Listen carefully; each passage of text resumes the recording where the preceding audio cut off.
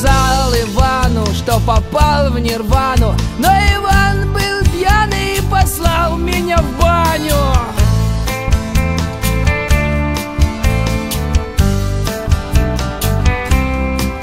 Я сказал Ивану, да я напрочь прозрел.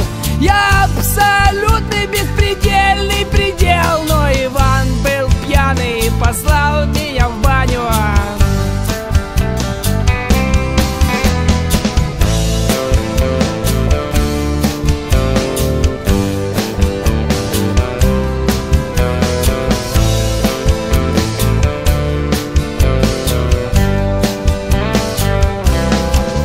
Я сказал Ивану, да я Бог воплоти Я вернулся на землю и мне некуда идти. Но Иван был пьяный и послал меня в баню. Ай да да да да да да Я очнулся в бане, я